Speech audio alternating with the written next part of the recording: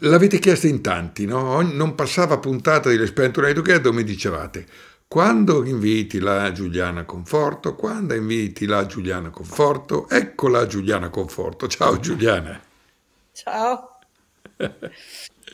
Allora, no, io, io, io, ridevo prima perché fino al momento in cui ho acceso per andare in diretta tu provavi di mandarmi delle immagini per quello di cui parlerai, ma non ci siamo riusciti, quindi a parte che ce l'avevi in pdf poi l'avrei dovuta eh, passare in JPEG, comunque storia nostra, no? Allora Giuliana, però tu mi hai dato, è bello perché lei, lei mi dà i compiti, no? Allora tu mi hai dato il titolo di oggi, ok? Sì. Tu hai detto che come titolo è, a parte che tutti vogliono sapere del sole, di quello che sta succedendo, ma lo direi dopo, ma noi umani siamo immortali? Perché hai dato ah, questo sì. titolo? sì, sì, mi torna. eh, ma perché vuoi, vuoi parlare di questo fatto? Perché, mm, beh, perché ci sono due misteri nella nostra esistenza qui su questo pianeta, uno è la vita e l'altro è la morte. e, ehm, non sappiamo che cos'è la vita, no?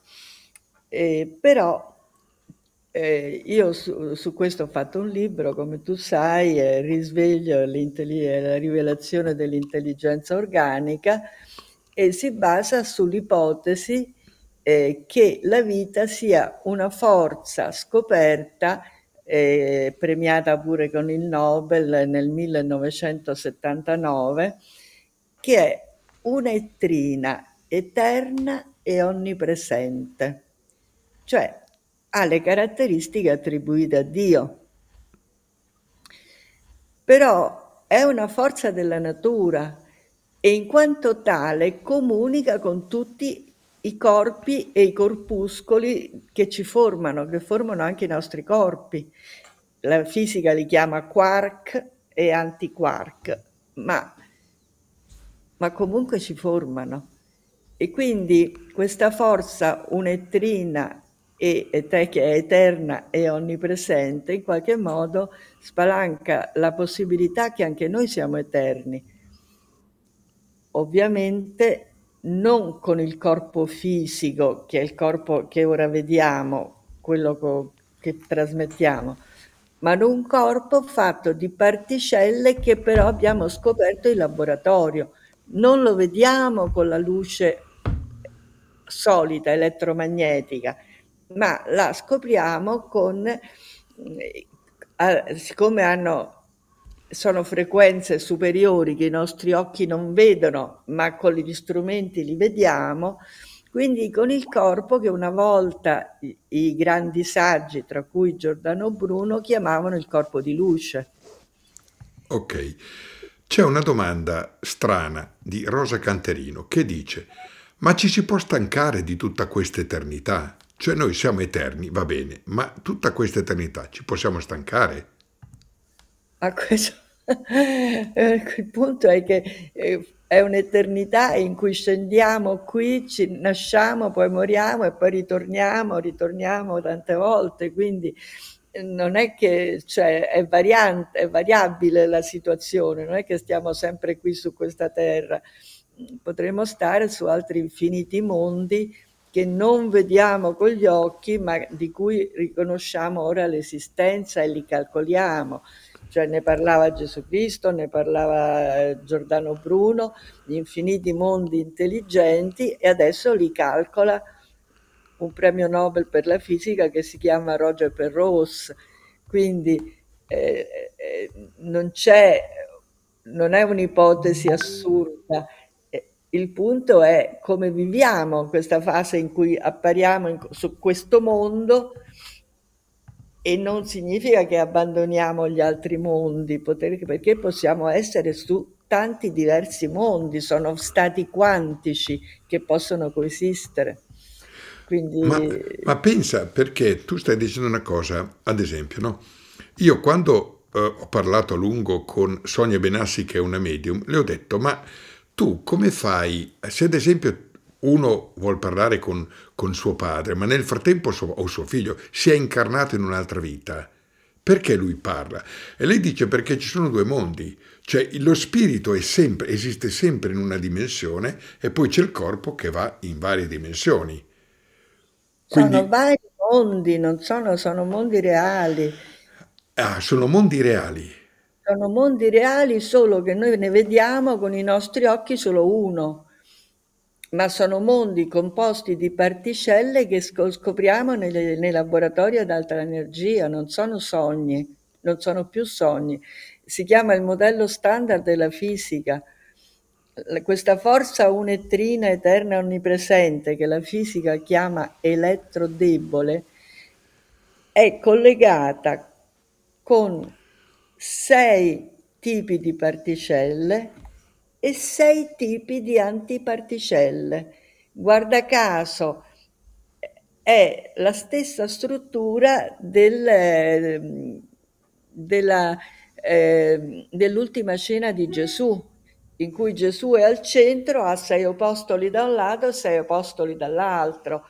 Quindi almeno il numero coincide, ma poi anche il fatto che, eh, che hanno quello che la fisica chiama un diverso sapore.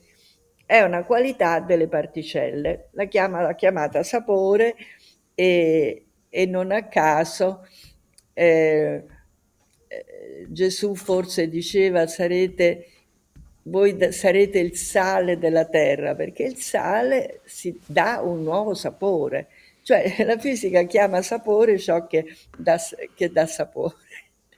E quindi sì, eh, ma, ma, è, ma un gioco di parole che però è, è straordinario. Insomma.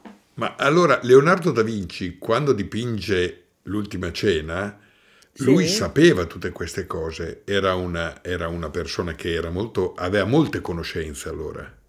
Io credo di sì, sì, penso anch'io, ma, ma c'è una, un'altra eh, ultima scena che sta a Roma e la chiamano l'ultima cena del, l'ultima cena del Medioevo perché no, è fatta da, un, da sconosciuti, insomma è un autore ignoto.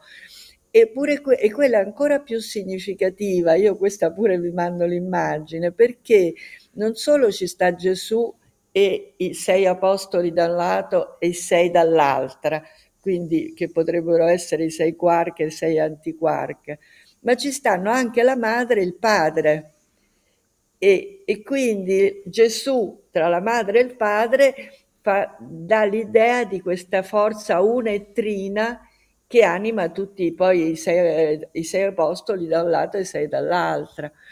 Eh, ma una, cioè, Nani, Nani, dice: Ma questi mondi li visitiamo nei nostri sogni? È possibile, non è, non è diciamo certo, ma è possibile e, e comunque è, sono fatte di particelle reali che osserviamo nei laboratori adesso, quindi non è solo un sogno, è anche una realtà.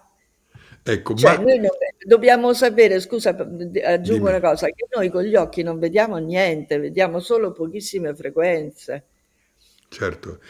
Se Ma, non abbiamo gli strumenti ne vediamo pochissimo, siamo mi, quello che si dice cecati. Miki Miki dice, quindi lo spirito ha tutte le memorie delle vite passate? Lo spirito, eh, non, il, non la mente e il corpo, lo spirito. Dunque io quando si parla di spirito mi incazzo un po', perché perché non è spirito, è materia, è solo una materia che non vediamo con gli occhi, è fatta di particelle reali, ora osservate in laboratorio, ma sono in frequenze tali che non le vediamo, ma sono particelle materiali o anche antiparticelle, perché dobbiamo sempre ricordarci che esiste sia la materia sia l'antimateria. La scoperta Fermi bel, no, l'antimateria l'hanno scoperta anche prima, è stata scoperta da tanto tempo, quindi dobbiamo... E, e, il nostro stesso corpo produce gli anticorpi che annichilano i virus nocivi, è il nostro sistema linfatico. Quindi eh, non, eh, non, è un mistero è anche medicina, ovviamente medicina con una coscienza non legata ai vaccini artificiali, insomma, però... Allora, guarda, eh, Massimiliano scrive: La forza elettrodebole Dante Alighieri la indicò come l'amore che muove il sole e le altre stelle. È la, quella che è la forza, eh, che è l'amore che muove il sole e le altre stelle, giustamente è la forza debole, cioè la, quella che chiama debole. La forza elettrodebole poi è, la, è l'unione tra la forza debole e la forza elettromagnetica eh, sono le nozze sacre, se vogliamo, no? perché io le, le collego al, alle nozze di Eros e Psiche, perché la forza debole è Eros, che non è debole per niente, perché sappiamo che l'Eros è potente, e Psiche è invece la bellezza, quindi è l'unione tra la bellissima Psiche e il Dio dell'amore. Eh, è, un, è una magia, è una è un'unità che, che, ci accompagna da millenni, di cui ora riconosciamo anche l'aspetto scientifico, però il problema in questi casi sempre, sono sempre i nomi. I nomi ingannano, cioè non è spirito. La forza debole è una materia che ha massa, diceva Giordano Bruno, è l'unica forza che ammole, lo diceva nel Rinascimento. E adesso si scopre che le particelle, i bosoni, si chiamano bosoni, trasmessi dalla forza debole, hanno massa, hanno mole.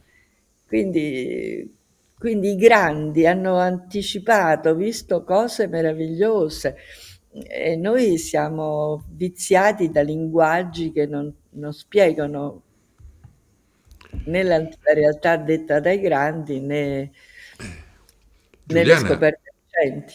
Certo, allora è chiaro che gli animali vedono e sentono cose che noi non vediamo, però Elisabetta non ti sempre, fa... Non tutti, ai gatti vedono di più, anche le, le, le civette Eh, le civette vedono nel E allora buio, sì. dice, Elisabetta dice, gli animali vedono l'antimateria? Guarda, questo francamente non lo so. Vedono frequenze che noi non vediamo, alcuni, ma eh, noi le vediamo perché bene o male ci siamo inventati gli strumenti per vederle, per misurarle nei laboratori.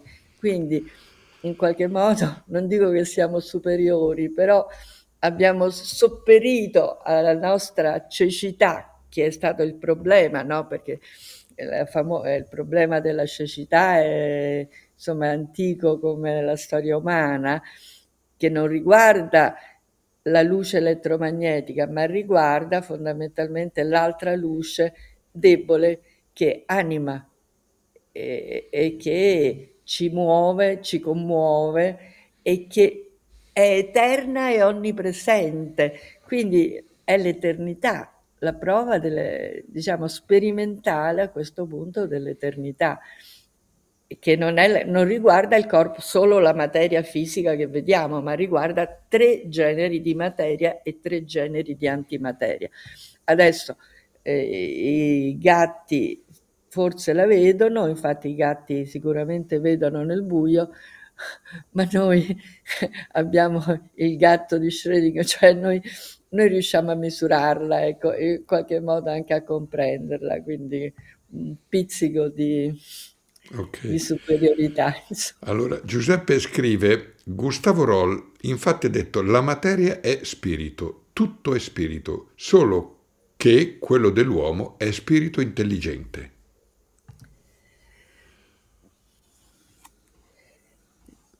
È movimento, diciamo, eh, questo è l'importante, cioè datemi un punto fermo e vi sollevo il mondo, chi lo diceva Archimede, non c'è, non c'è un punto fermo nell'universo, quindi la realtà è il movimento e la forza che anima, muove, è quella che la fisica ora chiama debole e, e che si sposa con, le- Certo. con l'elettromagnetismo. Quindi mh, Ah, eh, siamo in un mondo meraviglioso perché poi ci- ora si calcola, sappiamo che ci stanno altri tempi. no? Il dramma di questo mondo è il tempo.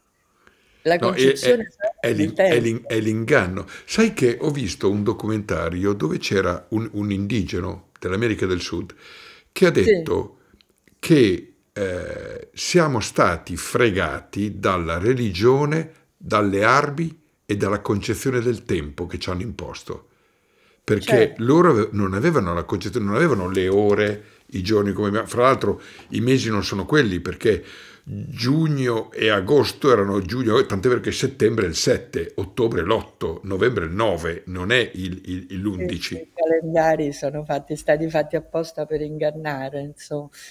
Ma, e in America Latina poi hanno, ci sono state de- delle scoperte straordinarie, insomma.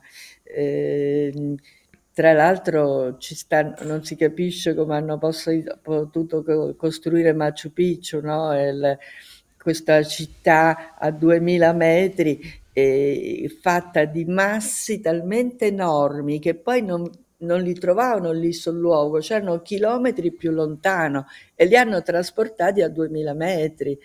Eh, è anche un, alt- è un altro, diciamo, motivo per capire che sembra che gli indigeni avessero la capacità di vincere la gravità. Anche, anche le piramidi di Egitto, insomma, c'erano dei massi enormi e non era facile spostarle, ma le hanno fatte, insomma. Quindi questo predominio della gravità che ci vincola al, sol- al suolo, ehm, ora in realtà potrebbe essere la grande illusione e qui c'è ora la teoria delle stringhe che spiega che potremo vincere la gravità.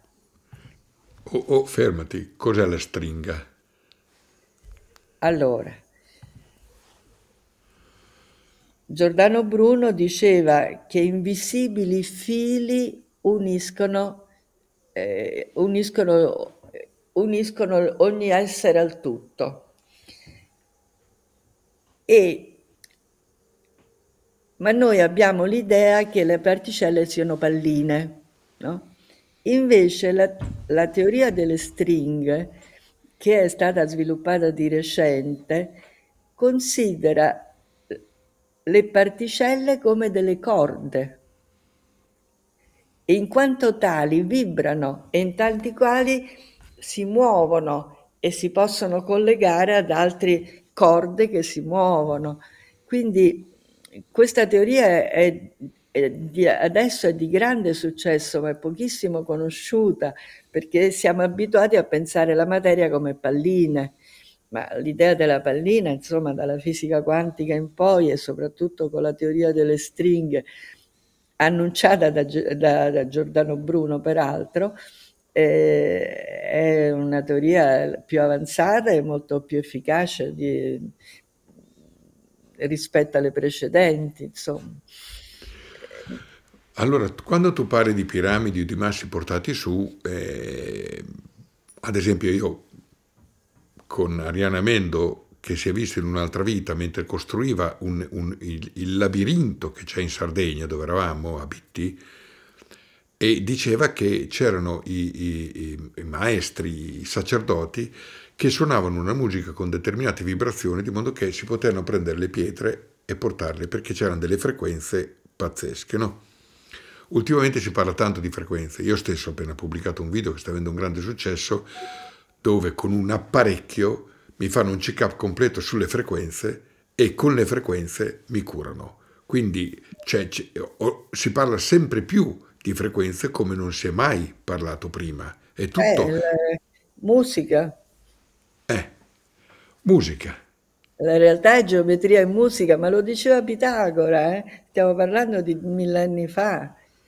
E quella la fisica quantica lo, lo spiega, cioè se non lo spiega lo utilizza le frequenze anche, cioè tutto solo una, descrivere un atomo e con eh, vari movimenti tra cui c'è anche la frequenza, non c'è solo la frequenza, c'è anche la rotazione, la rotazione le, i salti quantici, ci sono insomma ci stanno sette movimenti per un solo atomo di idrogeno migrannosissimo, quindi figurati se, noi siamo fatti da miliardi di particelle, quindi ci sono tanti movimenti cui, la cui importanza per la salute è la coerenza.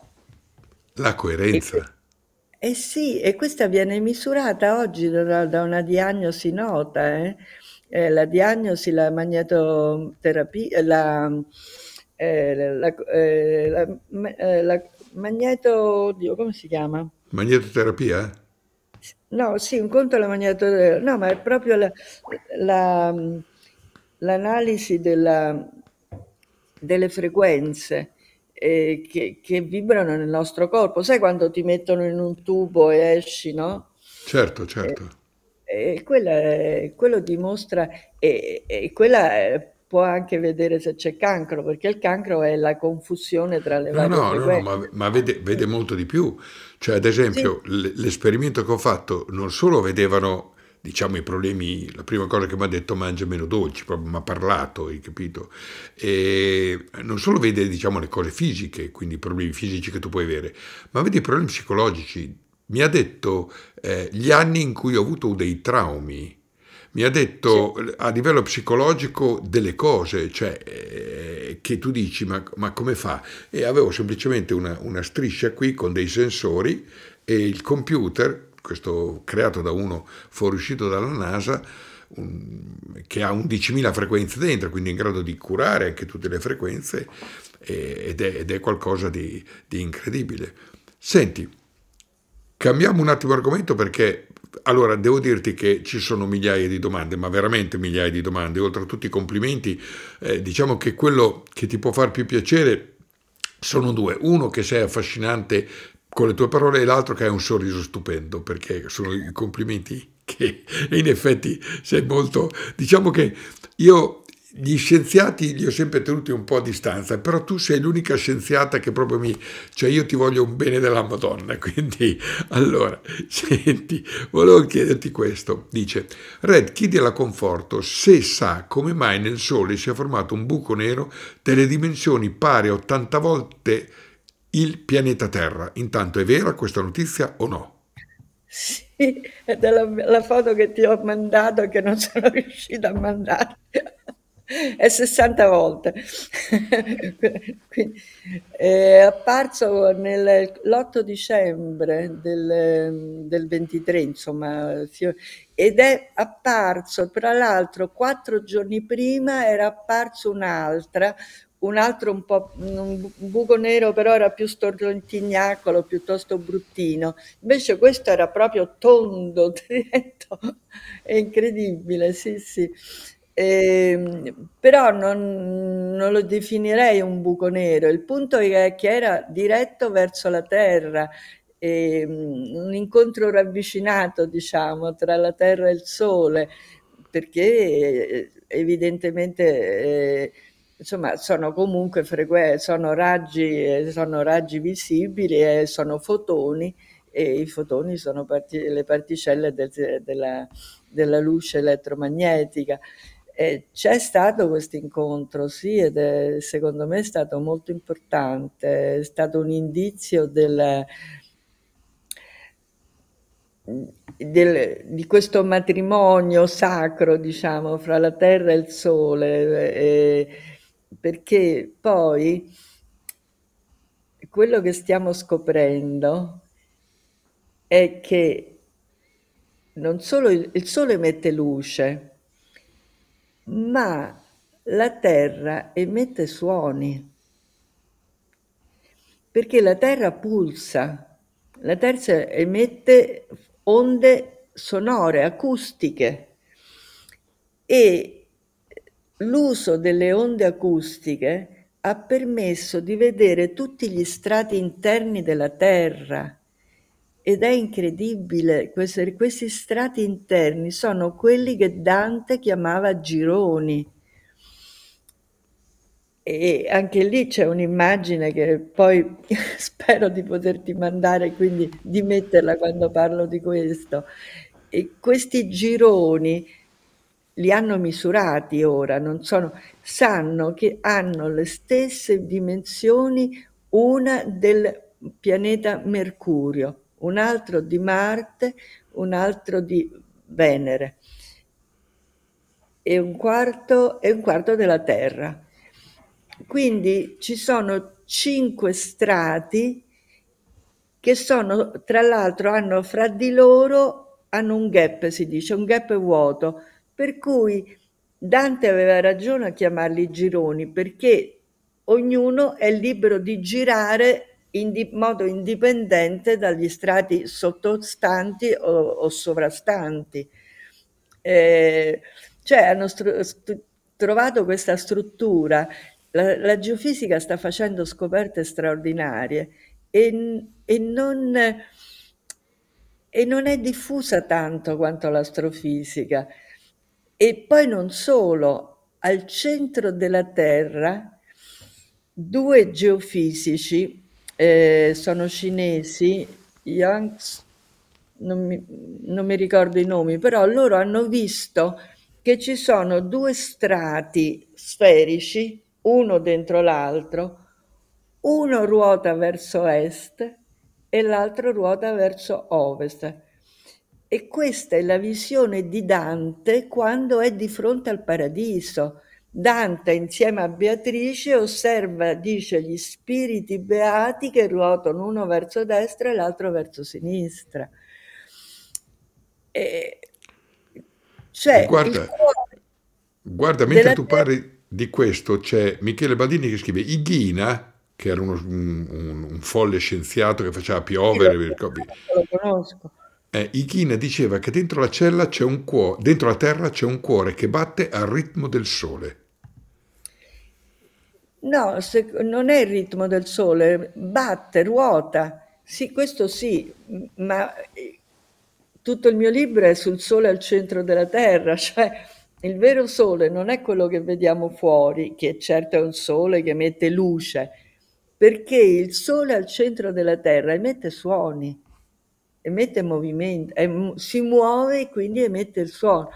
E la tesi di Pitagora la, la realtà è geometria e musica è, eh, è proprio diciamo espressa da questa coppia che è da una parte il sole e dall'altra la terra. Ecco, ma scusa, ma allora c'è possibilità che ci sia una vita all'interno della Terra? Secondo me sì, perché, perché la luce no, non è luce visibile, ma c'è il suono, è il suono che anima. È possibile che siano tutti... Però questo è quello che dice, dice Dante, dice Omero, dice Virgilio. Eh. Ma allora, ho una domanda per la dottoressa. La rotazione a destra e a sinistra dei due strati può essere il motivo del magnetismo e della gravità? Sicuramente il magnetismo è l'effetto del movimento. Io sto parlando dei due strati al centro della Terra, nel cuore della Terra, che ha un raggio piccolissimo rispetto alla Terra e mi pare che sia un ottavo, un decimo, insomma, molto piccolo rispetto a, all'intera superficie della Terra. Però gli strati sono stati ritrovati perfettamente dalla geofisica e altro strato, lo strato più ampio è circa 3.000 chilometri, è la parte sottostante alla crosta terrestre, quella che mh, mm, quella in cui gli, anche lì ci potrebbero essere corpi viventi, cioè non, eh, e non il mondo, de, cioè i morti potrebbero essere vivi perché ricevono il movimento dalla, dall'interno della Terra. Certo, non col corpo fisico che certo. conosciamo, certo. ma un altro corpo di cui conosciamo però le particelle. Senti Giuliana, ho una domanda strana da farti.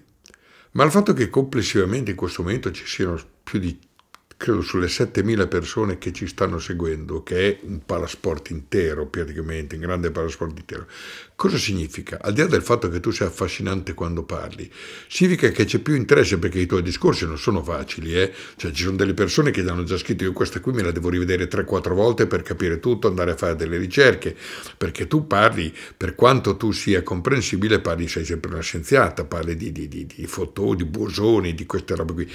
Allora, cosa significa che ci sia tanta gente interessata e sta crescendo? Perché? c'è un interesse maggiore. Cosa sta succedendo? Beh, sta succedendo, io il mio libro lo chiamo Il risveglio perché la gente si sta risvegliando dal lungo sonno de, dell'illusione. L'illusione è la luce elettromagnetica che crediamo che sia l'unica, invece no, c'è un'altra luce, aveva detto Gesù e dopo l'ha detto Giordano Bruno e ha detto è l'unica luce che ammole Mole significa massa in, in italiano rinascimentale, cioè epoca di, di Gerano Bruno. Ebbene, la luce debole, che poi scopre Enrico Fermi, è l'unica che ammole.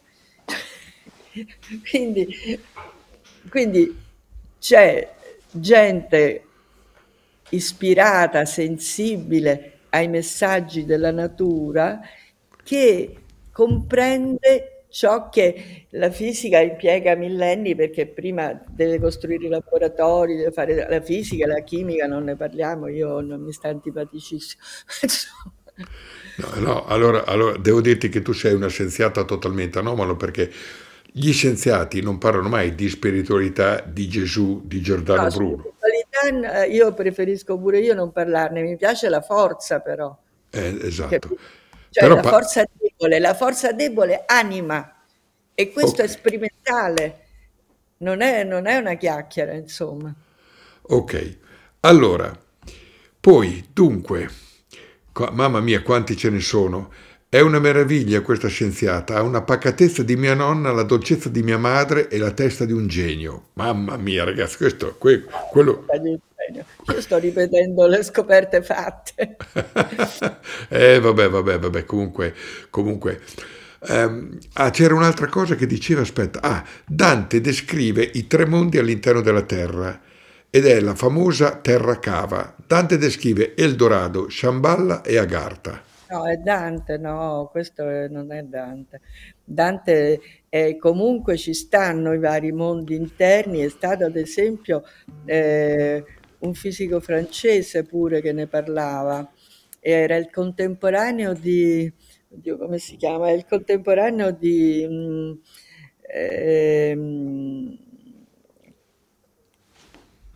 eh,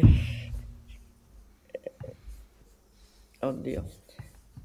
Era contemporaneo di, del, di, quello che ha scoperto il, il Pur si muove, come si chiama il Pur si muove? Galileo Galilei. Galileo Galilei, che ha detto una cosa intelligente, perché tutto si muove, questa è la realtà, non c'è un punto fermo dell'universo. E che cos'è che muove?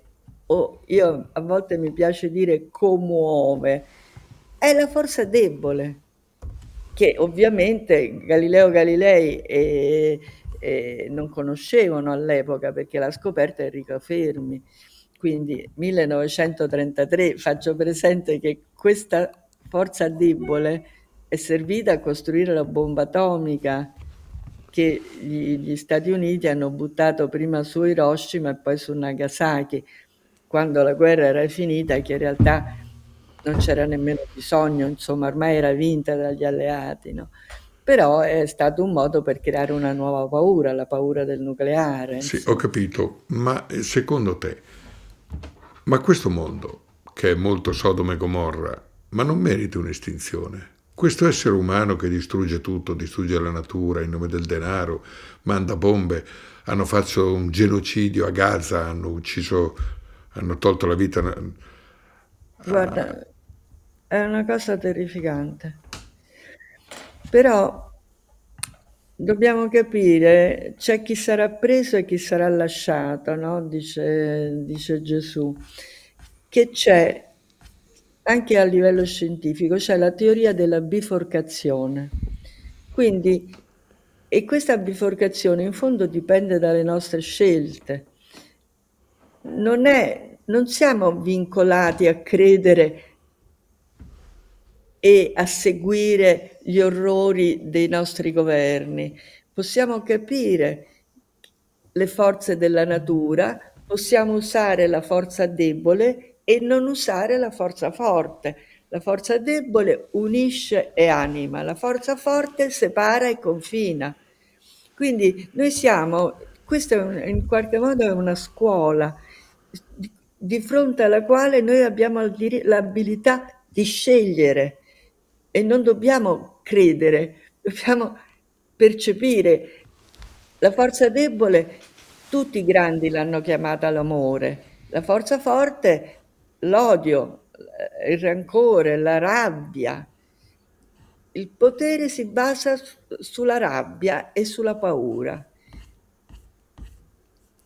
Liberarci dal potere non è combatterli, è usare il lato luminoso della forza, adesso potremmo dire dopo la scoperta della forza elettrodebole, quindi eh, e non è fantascienza, è scienza, anzi direi che è coscienza. Ho capito, ma quando tu ti trovi con un mondo gestito dalla forza, quella forte, quella malefica, che cosa puoi non fare? È il mondo che è gestito, è che usano la forza forte non è il mondo gestito, è, okay. perché ciascuno di noi può scegliere di usare la debole e non la forte. Vabbè, ma anche se tu usi la forza debole e quindi l'amore, eccetera, ti trovi in situazioni in cui loro vogliono sopraffarti, vogliono metterti il marchio della bestia, vogliono farti de delle punture che ti controllino, vogliono mettere delle robe nell'atmosfera. Può dire no, eh. non sì, è obbligato. Non sì, ho capito che puoi dire no, però non puoi dire di no a quella roba che ti mettono nell'atmosfera e che cade giù. Io ho scoperto, mi hanno fatto del 2, mi hanno fatto analisi, ho dentro di me dei metalli pesanti e quando mai ho preso i metalli pesanti mi arrivano dall'alto, da qualche parte. Cioè è arrivata giù della grandine che dentro è dell'alluminio, cioè dei blocchi di grandine così, da dove sì. salta fuori. Red, c'è un'altra terra e questo l'ha detto Gesù ormai duemila anni fa poi Giordano Bruno ha detto è un unico organismo. Ora quest'altra terra la osserviamo con gli strumenti ed ha la forma di un bambino gigante, è 4-5 volte più grande della terra sferica che crediamo sia l'unica e, se, e, e, si muove in modo coerente. Ora sappiamo le caratteristiche dell'altra terra, nessuno non capisco perché nessuno lo vuole capire. E la vediamo con le immagini, io adesso te le manderò, ma comunque eh, è visibile. No, no, ma, no, no, è ma composta plasma, capito? Cioè, ma Giuliana, guarda che le immagini del bambino attorno alla Terra l'abbiamo già mostrata, c'è una bellissima intervista che abbiamo fatto con Giuliana, se l'andate a vedere parla di questa cosa qui. Ho capito, però vedi, il, il, il concetto è questo, Giuliana, che noi andiamo avanti sorridendo, andiamo avanti con amore, andiamo avanti pensando che questa non è l'unica vita, che, che, abbiamo uno spirito immortale, tutto questo. Purtroppo troviamo della gente sul nostro cammino che in realtà fa di tutto per, per distruggere perlomeno questo nostro corpo. Ecco, non, non la forza debole, ma il nostro corpo, non lo, lo, spirito come lo chiami tu, la materia dello, dello spirito che noi abbiamo, ma il corpo sì. Ecco, ci danno delle leggi assurde, eh, abbiamo delle situazioni... Questa è una scuola, Red, questa, eh? è una scuola. questa è una scuola. Qui dobbiamo imparare non a fare la lotta tra bene e male, dobbiamo imparare a discernere il bene dal male. Quanti vogliono un mondo nuovo, un mondo giusto, un mondo saggio, privo di armi e privo di guerre? Tanti, solo che hanno dominato quelli che, che che succhiano stupi- la, la, stupidità, la, la credenza, l'illusione, quelli che hanno paura. Dobbiamo vincere le nostre paure, in fondo.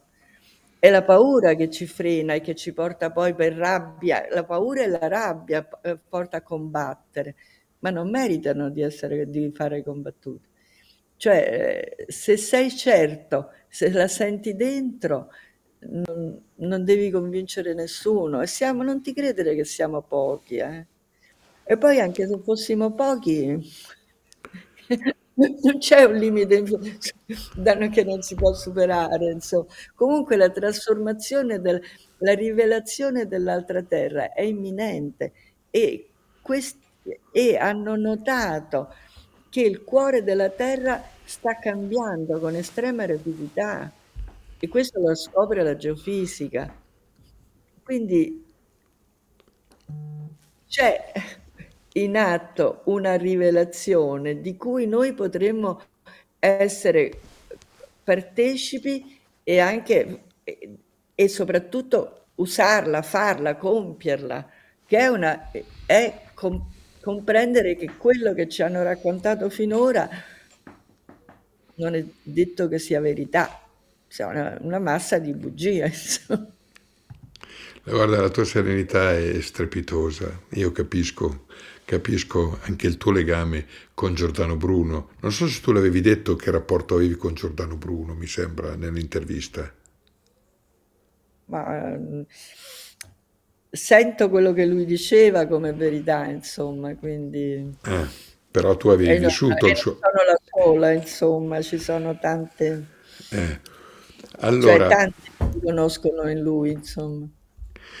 Comunque, comunque è, è, bellissima perché la tua serenità, vedi, eh, a me piace questo programma. Perché, perché è un'isola che non c'è, in realtà è un'isola che c'è perché esiste, no? è un'isola dove non c'è litigio e dove una persona cresce, la parola, tu hai usato la parola risveglio, hai fatto un libro sul risveglio, Marina Tonini ha fatto un libro sul risveglio, cioè la, la, la, parola più usata è risveglio, però non tutti si stanno risvegliando. Molta gente crede di risvegliarsi perché si ribellano, ma la ribellione non è il risveglio. Ma vedi, io dico sempre che questa è una scuola, c'è chi è arrivato a fare l'esame di maturità e chi invece sta ancora alle elementari. E, vabbè, deve, lo farà un'altra volta, insomma.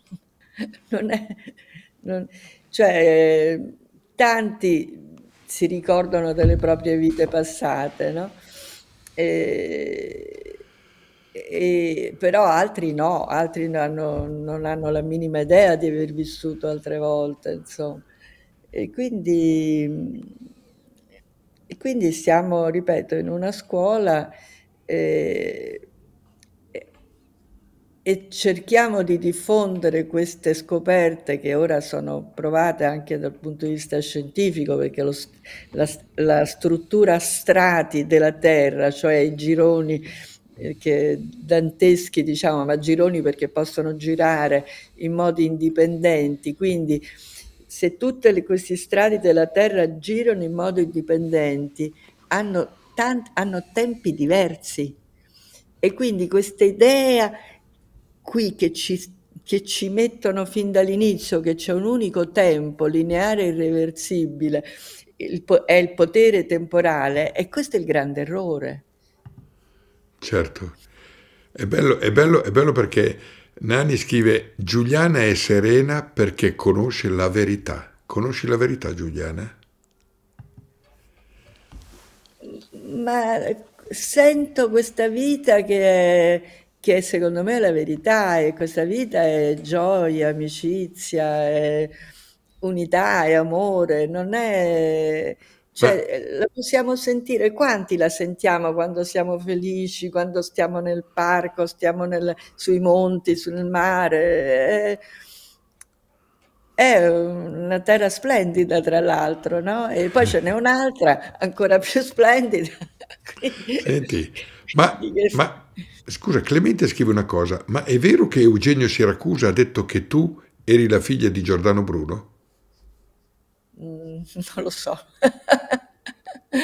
non lo so, e poi non è importante, l'importante è quello che siamo ora. Insomma. Eh certo. Eh, bravissima dottoressa, non tutti purtroppo sanno vincere questa battaglia tramite l'etica. Quindi c'è uno che dice che il 3 marzo 2025 succederà qualcosa. Tanti mi chiedono di questi tre giorni di buio che dovrebbero accadere, dove succederà tutto nei tre giorni di buio. Tu ne sai qualcosa o no? Eh cavolo, è quello che proprio sta, di cui parlo spesso.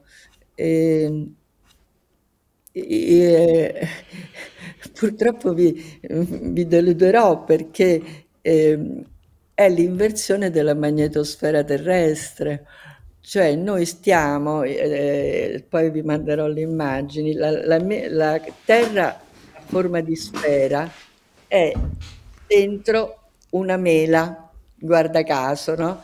Una, che è la magnetosfera terrestre. E noi non abbiamo visto real la realtà, abbiamo visto la magnetosfera terrestre, quindi non è un peccato, è un fatto però. Allora, se la magnetosfera terrestre si inverte, cioè il polo nord diventa sud e il sud diventa nord, diciamo uno è più e uno meno, nell'inversione c'è un punto in cui passa per lo zero. Siete d'accordo? Sì. Eh, allora a quel punto sparirà, ma sarà un attimo perché non, non, non, non si ferma mai, no? Però potrebbero essere i famosi tre giorni di buio citati anticipati da vari, da vari saggi, insomma. Quindi, e poi però che facciamo? Quando si è rigirato, si è rovesciato e noi vedremo il dentro che esce fuori, quindi avremo un altro cielo e un'altra terra. Ecco, e questo si spiega, cioè, è fisica ormai, è quasi fisica, diciamo, solo che è stato annunciato, no? È stato annunciato... Mm.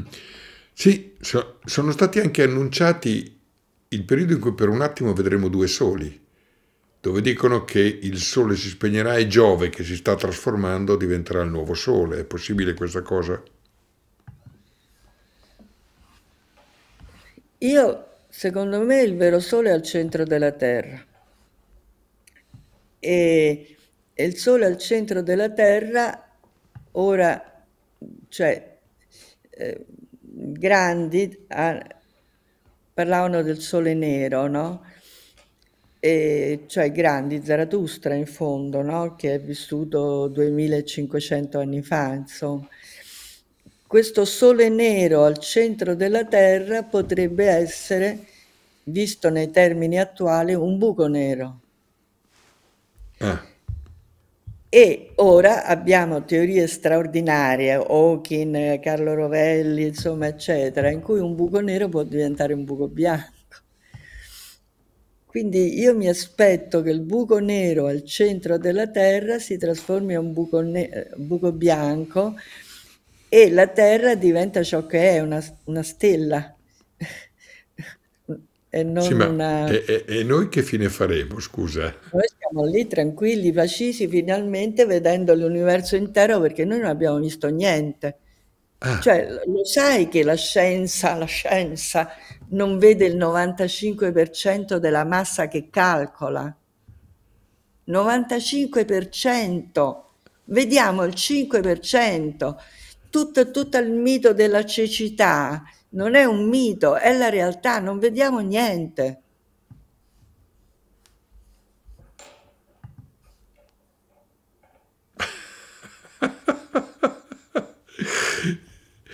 ma Giuliana, ma sei d'accordo che noi stiamo vivendo un momento che storicamente è forse il più importante della storia della Terra che noi conosciamo? Sì, sì, ma e, e ti dirò di più che alcuni dicono il 2025, io ho la sensazione netta che avvenga prima e che avvenga entro il 2024. Beh, Marina Tonini che ha contatti con, con esseri di altri pianeti ha detto che è questione di mesi, gli hanno detto. Sono d'accordo e che in caso che l'uomo, diciamo l'uomo che usa la, for la, la forza quella forte, voglia fare scoppiare qualcosa di nucleare, interverrebbero subito. Ma dai, Red, ma ci stanno guerre da tutte le parti, orribili guerre, in, non è solo Medio Oriente, poi ce l'hanno con, con Gaza, con tutti. Eh, stanno, sono disperati. Sono disperati perché Scusa, hanno capito che... Chi sono disperati? I potenti. Sono disperati. Eh sì, perché, perché gli sta crollando tutto, tutta la, la, bufala che hanno raccontato della, della, della realtà. E quindi sta uscendo la verità. E certo. E quindi loro... liberi e la verità, la vita è una forza della natura ed è questa la base poi dell'altro del mio libro, mi basa sulla forza che è elettrodebole che certo. è stata scoperta. Quindi loro stanno agendo ti stile muoia Sansone e tutti i filistei? No, più che muoia cercano disperatamente di conservare il potere che è sulle armi, sulla paura, sulla rabbia, cioè le categorie mentali hanno, su cui hanno fatto tutte le guerre del mondo, ma ci rendiamo conto della follia. Cioè, eh, hanno, gli Stati Uniti che non hanno mai esitato a fare guerra, che bisogno c'era di buttare la bomba atomica su Hiroshima? Cioè, eh, è stato un modo per aumentare il gioco della paura, perché il gioco del potere è la paura e la rabbia. Non dobbiamo cascare, insomma, in questo gioco. Una domanda che non capisco. Ronny, puoi chiedere alla signora Giuliana Conforto qual è il ruolo delle fiamme gemelle in questo cambio dimensionale? Non so cosa siano. Eh, non so manco io. Mamma mia, ragazzi. Allora... Ma eh, bello dire non so, perché... Eh certo. Cioè... Allora, secondo me stiamo vivendo un momento più importante della vita che sta vivendo ognuno di noi. In altre epoche ci sono stati altri momenti fondamentali, questo è il mio pensiero, ma sì, ma non li conosciamo. Noi non sappiamo nulla di Atlantide, non sappiamo nulla di quello che c'era prima del diluvio, non sappiamo queste cose. E quindi, quindi di, del, del, della storia della Terra che noi conosciamo, non quella che non Beh, conosciamo. Guarda, qualcosa sul diluvio sappiamo, eh, perché ad esempio non c'era il Mediterraneo. E, cioè eh, eh, l'improvvisamente diluvio universale ha rotto il Gibilterra e è entrato l'acqua nel Mediterraneo e, e, e Noè ha fatto la, la nave, no? quindi con tutti gli animali per salvare con l'arca di Noè, insomma, quindi che ha previsto questo evento. E, e poi dicono che l'arca sia sul monte Sinai, no? Sia su, lì sul monte Sinai, però nessuno ci è salito che io sappia, insomma, oppure... Ma, ma tu, tu, credi veramente che ci sia stata un'arca? Cioè che ciò che... o era simbolica l'arca? Potrebbe essere simbolica e, e in fondo è, è, è, capire che è sentire che la vita non finisce con la morte. E, perché adesso quello che eh, viene chiamato il modello standard della fisica in qualche modo dimostra che noi abbiamo tre, cioè ci possono essere tre corpi diversi per ogni essere umano. Corpo fisico visibile e altri due che hanno nome e cognome, cioè tipi di particelle che le compongono, ma che non sono visibili con gli occhi. Le, le particelle le abbiamo viste nei laboratori. Quindi eh, gli antichi, non solo Giordano Bruno, ma anche tutti eh, i saggi e profeti, hanno avuto una visione di cose che, che in fondo ora stiamo ritrovando, solo e gli diamo nomi diversi perché è scientifico, ma certo. comunque ci sono te, i tre generi di materia e i tre generi di antimateria. Possono formare corpi, perché no? Ok. Nessuno lo vieta, insomma. Allora, Giuliana, grazie, ma stai lì, perché adesso io ti unisco a, a una persona che ti ha già incontrato, che tu non ti ricordi, però ti ha già incontrato. Pier Giorgio Caria. Ciao Giuliana, ciao Red. Eh? Ciao. Giuliana, io e te ci siamo frequentati anche parecchie volte negli anni 90. Addirittura assieme a te io feci una conferenza all'Università La Sapienza di Roma sui cerchi nel grano. Ah. Ma dove? A chimica? A chimica per caso? All'istituto eh, di... non mi ricordo, sono passati... Perché io stavo a... Eh, fu una ri... riunione in cui stavo a chimica. E comunque sì, all'epoca sì. Frequent... frequentavamo, io ancora lo frequento, a Giorgio Bongiovanni, l'ho stigmatizzato. Sì, io l'ho incontrato una volta, sì, poi non l'ho eh. Cosa avete in comune voi due? Ah, Sicuramente so. la nazionalità... sì, la nazionalità qui, no, però... A parte questo discorso, beh, io ho letto e ho ascoltato tante cose di Giuliana, soprattutto la parte che riguarda il cuore cristallino della Terra e tutto ciò che adesso ho collegato. E poi la data che lei dà della scoperta della, del cuore cristallino del pianeta corrisponde alle informazioni che ho trovato io attraverso le mie ricerche, e cioè che nel 1936 una spedizione dell'Anenerbe, che era un corpo dell'SS particolare, eh, che, il cui capo era Himmler, praticamente fece un viaggio in Tibet e i tibetani praticamente gli dissero le stesse cose, quindi le due date corrispondono ed è molto probabile che la notizia sia venuta da lì. Cioè, fermati, fermatevi un attimo, non ho capito niente. Cosa, cosa dissero i tibetani alla spedizione dell'SS comandata da Himmler? Gli spiegarono della, del sole interno della Terra. Infatti, a parer mio, il simbolo del sole nero, di cui si fregiano i nazisti e a tutt'oggi purtroppo anche in Ucraina è stato riesumato, che poi è un simbolo che si trova in una grande sala circolare del castello di Wewelsburg che era il castello dove c'era la sede di comando delle, dell'SS della Nenerbe, che era una sezione speciale che si dedicava alle ricerche esoteriche che Hitler assieme a Himmler fatto anche in Egitto molto, sì. Esatto, quindi c'è il simbolo del sole nero che per me il sole nero non è perché è nero, è il sole occulto che sta all'interno del pianeta. Infatti Hitler disse... È quello che ora chiamano un buco nero. Esatto, ma è un sole... È quello che scrivo nel mio libro, insomma. E un buco nero ora sappiamo che può diventare bianco. Ma eh, ti racconto un episodio, Giuliana.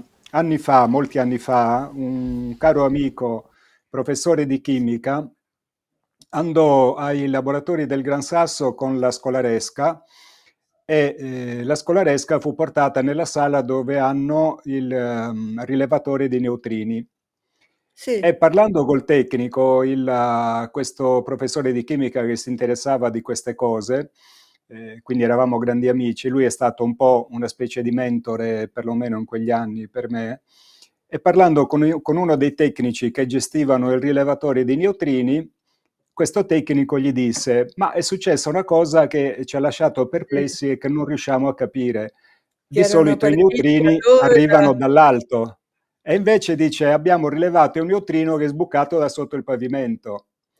E praticamente questo sì. professore di chimica gli disse del sole interno e, fin- e finì una, una, litigata perché ovviamente questo tecnico non accettò quello che gli diceva questo caro amico, ma abbiamo la prova scientifica e questo è accaduto non solo una volta, che eh, ovviamente i neutrini sono emessi dai soli, quindi se un, se un neutrino ti sbuca dal pavimento eh, viene da dentro, non viene da fuori.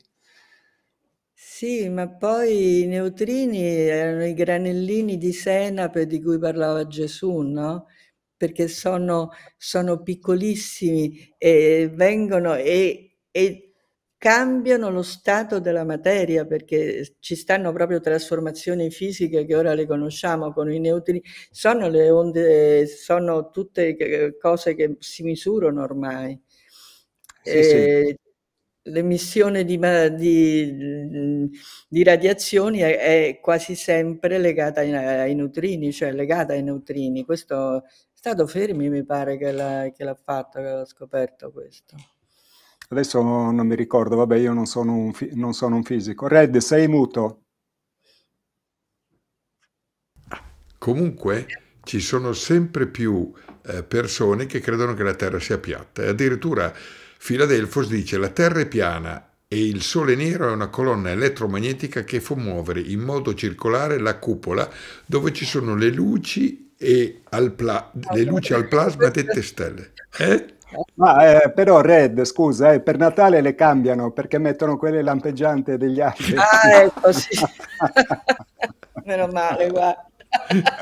solo, solo, a ridere di una simile stupidaggine. Red, noi siamo andati al centro controllo voli spaziali di Mosca, cioè la NASA all'epoca sovietica, la NASA russa, e abbiamo fatto amicizia con alcuni cosmonauti della Mir. Uh-huh. Alcuni di loro, Red, si portavano la telecamera di casa per fare filmati per la famiglia dagli oblò della Mir. Quindi non sono filmati ufficiali e in questi filmati è chiarissima la curvatura della Terra. Cioè già Giordano Bruno aveva postulato la sfericità del pianeta, quindi pensare alla Terra cava vuol dire avere, un, avere un'ignoranza abissale a livello, a livello anche geografico. Io sono stato sulla linea dell'equatore in Ecuador e lì gli emisferi della, della, Terra a livello di circolazione d'aria sono perfettamente divisi. La girandola del vento che c'era sulla destra girava in un senso, ma ti sto dicendo a pochi metri dalla linea dell'equatore, che, che è piccola, cioè si, si, si, risolve in pochi centimetri. A sinistra della linea dell'equatore il vento, la girandola girava in senso contrario. Poi in questo luogo, che era un museo all'aperto... Cosa? Brava, a Quito, no? Sì, a Quito, esatto. Sì, e praticamente sì, in questo museo, che era un museo etnico, il proprietario aveva anche una struttura metallica con dentro un lavandino di rame e praticamente se tu mettevi a sinistra della linea, scusa, a destra della linea, mettevi il lavandino, l'acqua girava in, senso, in un senso, spostavi il lavandino di due metri dall'altra parte, l'acqua girava in senso contrario. Quindi chi parla della terra cava o della terra, scusa, della terra piatta è perché eh, ha una conoscenza molto piatta. Guarda, io non discuto nemmeno. Cioè, una volta mi ha fatto la domanda, no, non proprio non è... Poi Red c'è il pendolo di Foucault che dimostra ah, cavolo, a Parigi, quello che ti fa Parigi. il pendolo di Foucault. Io sono state tre ore di fronte al pendolo di Foucault. Cioè, di, di 73 ore. Scusa, cosa no, vuol dire? Sì, cosa... perché c'è la, la, rotazione non solo della Terra, ma c'è anche la rotazione intorno a se stessa, poi c'è la rotazione intorno al Sole, insomma, è tutta una serie di rotazioni. Il pendolo di Foucault dimostra, insomma. E poi è tornato indietro, ci sono varie cose misteriose su queste, insomma. Il discorso della, del fatto che i poli, i poli, diciamo, il polo sud dell'Antartide sia militarizzata, completamente non ci puoi entrare se non con super permessi e devi conoscere chiss- chissà chi per poterci entrare, perché lì ci sono cose molto particolari che sono legate ai dinamismi di entrata all'interno del pianeta c'è una famosa serie di foto del satellite ESA-7 dove si vede chiaramente nella prima foto c'è la spaccatura gigantesca della crosta di ghiaccio dell'Antartide e poi pian piano si forma un grosso foro di apertura che è l'ingresso, l'accesso dinamico alla, al cuore interno della Terra. E altri ricercatori ufologici, RED, si sono chiesti ma perché i dischi volanti vanno tutti o verso sud o verso nord, perché sono le, gli ingressi principali. E addirittura quando l'ammiraglio Baird rimase prigioniero alcuni mesi in, sua, nel suo rifugio antartico, quando uscì, la prima cosa che vide fu un fenomeno luminoso che partiva verso il cielo.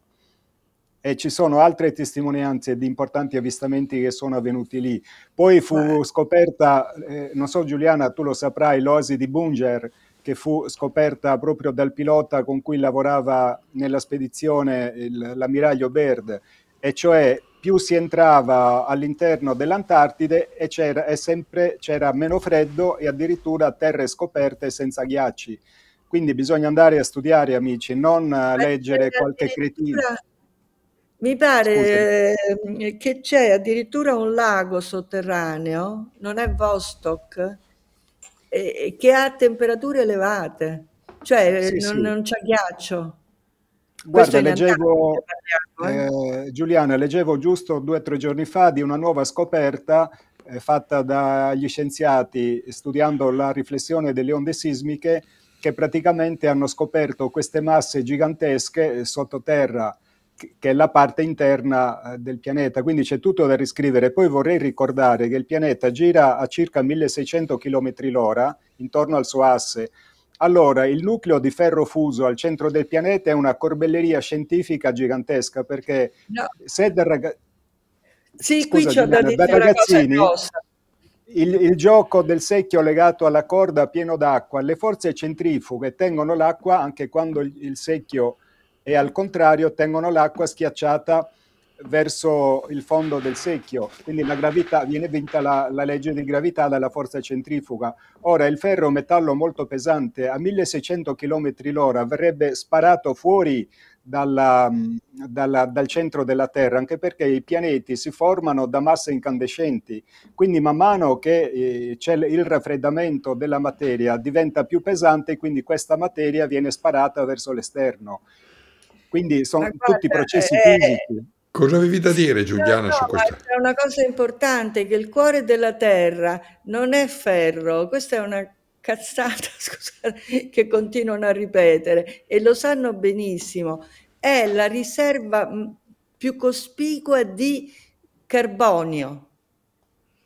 Allora il carbonio allo stato solido, se solidificata come si chiama? Lo chiamano diamante Infatti tanti esoterici hanno parlato del diamante al centro della Terra, ma è carbonio.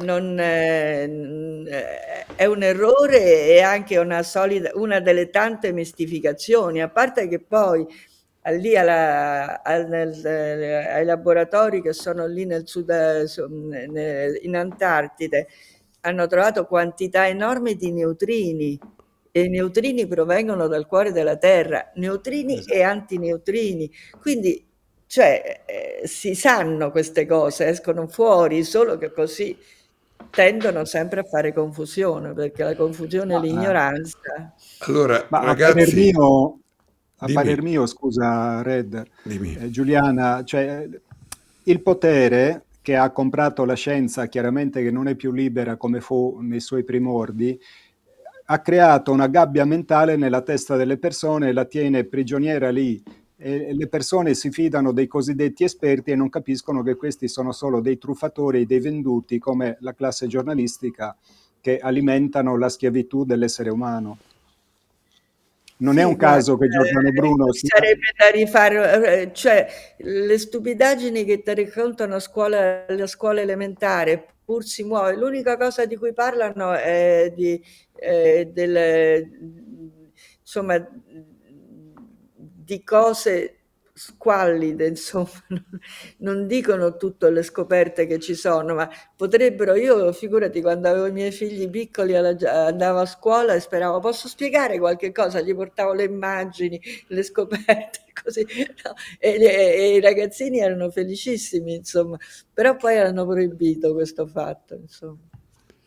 No, ma sì, guarda, sì, io ti, ti racconto un, un, fatto. Mia figlia Luna, credo alle elementari, prima media, gli fecero fare un, un, un, tema sulle piramidi e lei che ascoltava tanti discorsi che venivano fatti in casa mia, dove veniva tanta gente, eccetera, scrisse che le piramidi erano sistemate in base alle costellazioni del cielo, no? Scrisse questa cosa qui. Le piramidi di Giza sono lo specchio del cielo, lo diceva Giordano esatto. Bruno. Esatto. Bene, la maestra gli ha detto forse ti sei confusa e gli ha dato quattro, credo, roba del genere. Cioè, ma scusa, ma se una bambina ti scrive una roba del genere, ma la tua dovresti essere curiosa a dire ma perché questa qui scrive sta roba? Dire scusa, ma chi ti ha raccontato sta roba qui se non la sai? Invece è l'arroganza dell'insegnante, della scienza, di dire io sono la scienza, tu non lo sai. Come quando mi dicono, io dico cosa bisogna mangiare, che i medici dicono poco ma di tutto, grande cazzata, perché sono i cibi che fanno male, e mi dicono ma tu sei medico tu, ma tu sei, sei um, un nutrizionista, ma sono, la scienza purtroppo non ha una roba importante che è la curiosità di imparare. Dovrebbe essere così. Purtroppo... Ah, ormai cioè, a cominciare è... da Galileo Galilei che ne ha dette di stupidaggini. no, eh, eh, stiamo in una, in una, scienza che inganna pure. Ecco. Ma come no, siamo messi? Allora a tutti e due faccio questa domanda perché eh, tutti stanno dicendo che i tempi sono brevissimi. Anche prima Giuliana ha detto si parlava del 2025, ma secondo me è molto prima. Anche in un'altra diretta la Marina Torini detto, mi hanno detto che è questione di mesi. Parti tu Pier, secondo te è veramente tutto così veloce? È sicuramente tutto così veloce, Red, a tutti i livelli, sia sui piani della situazione dell'umanità, perché la condizione geopolitica è terribile.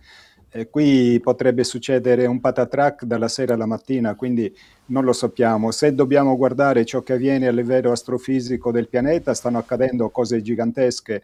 Se dobbiamo vedere l'attività solare del 2023, è stata pazzesca. Il Sole ha iniettato nel sistema spaventose quantità di energia. Addirittura a dicembre c'è stata un'esplosione di classe X5, che è la massima cioè, quindi stanno accadendo cose importantissime, quindi il sole esterno e quello interno stanno modificando la materia, compreso l'essere umano. Quindi questi fenomeni gli scienziati o alcuni scienziati li hanno benissimo visti e misurati, ma viene tenuta l'umanità all'oscuro perché la classe dominante, che è l'elite mondiale finanziaria, non vuole mollare la presa sull'umanità e siccome sono in una gravissima situazione perché il fronte orientale li sta facendo a pezzi perché eh, hanno perso la guerra, eccetera, eccetera, quindi c'è una situazione di tensione. Adesso la, stanno... la Nato in Ucraina. Ah, perché l'obiettivo era conquistare la Russia e depredarla delle sue immense risorse, che la Russia è la nazione più grande del, del, pianeta Terra.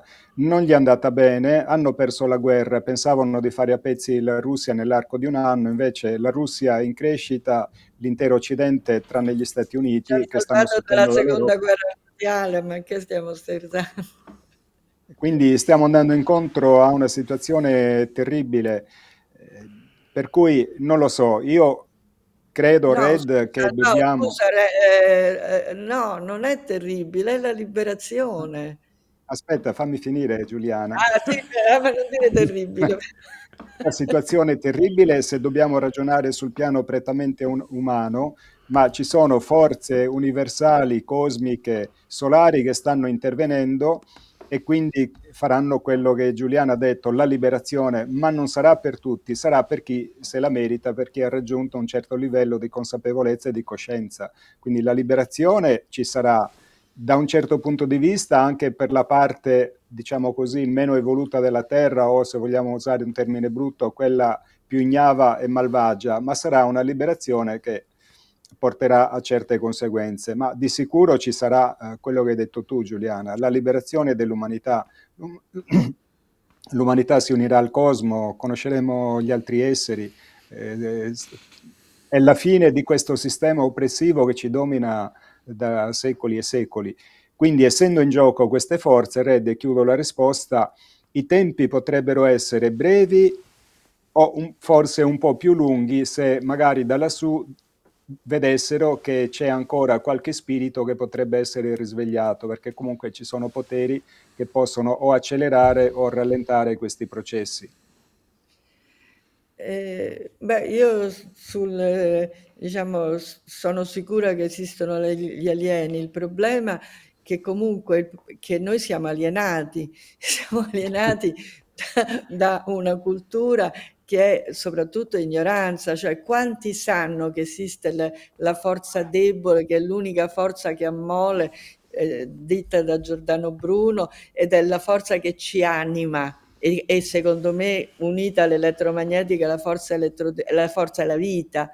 Quindi eh, comunque il concetto amiamo la vita, cioè non, eh, sappiamo che la morte è un, un'immagine, muore il corpo fisico, ma ne abbiamo un altro, abbiamo un corpo eterico. Un quindi, quindi eh, qui non si, si tratta di, di, capire che la vita eh, c'è sempre, anche oltre la morte, no? E ce l'hanno detto non solo Dante e tanti altri, insomma, ma forse ce le ricordiamo pure, no? Queste altre vite, insomma.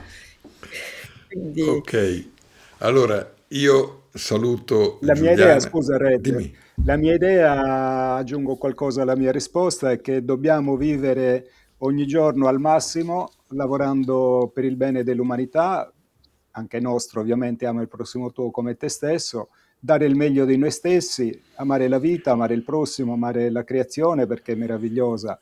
Questo periodo di oscurità passerà, io ne sono certissimo, e comunque già ora, se noi vogliamo, possiamo avere, seppure nella tristezza delle cose che accadono, possiamo avere una bella vita, cioè io mi diverto un sacco, viaggio, conosco gente straordinaria, conosco te, conosco Giuliana, quindi la vita anche adesso, se ci impegniamo, se apriamo un po' gli occhi, ci può dare tante soddisfazioni e tante belle sorprese, quindi mai abdicare all'amore per la vita, mai, assolutamente.